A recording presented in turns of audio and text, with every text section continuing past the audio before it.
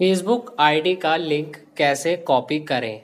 आज की इस वीडियो में हम बात करने वाले हैं कि आप अपनी फेसबुक आईडी का लिंक कैसे कॉपी कर सकते हैं। तो आइए जानते हैं। तो यहाँ पर आपको इसके लिए सबसे पहले फेसबुक को ओपन कर लेना है और यहाँ पर आपकी वो आईडी लॉगिन होनी चाहिए जिसका भी आप लिंक कॉपी करना चाहते हैं। उसके बाद आपको ऊपर ही अपनी एक प्रोफ़ाइल पिक्चर का गोल सा डीपी या फिर प्रोफ़ाइल पिक्चर का आइकन मिल जाएगा। इस पर आपको टच कर देना है। टच करते ही यहाँ पर आपकी प्रोफ़ाइल ओपन हो जाएगी।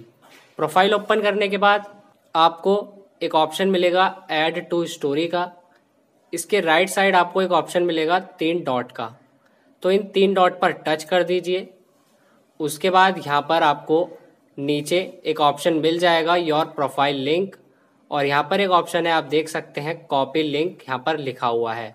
कॉपी लिंक पर आप जैसे ही टच करेंगे, यहाँ पर आपकी फेसबुक आईडी का लिंक कॉपी हो जाएगा। तो यहाँ पर अब हम इसे अपने एक दोस्त को शेयर कर देते हैं। तो यहाँ पर व्हाट्सअप में जाते हैं और जिसको भी शेयर करना है उसका कॉन्टैक्ट इस तरह से ओपन कर लीजिए। उसके बाद टाइप अ मैसेज पर आपको दबा के रखना है।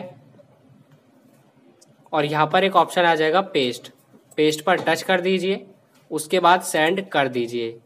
अब यहाँ पर आपके इस लिंक पर कोई भी टच करेगा तो वो आपकी फेसबुक आईडी पर पहुँच जाएगा।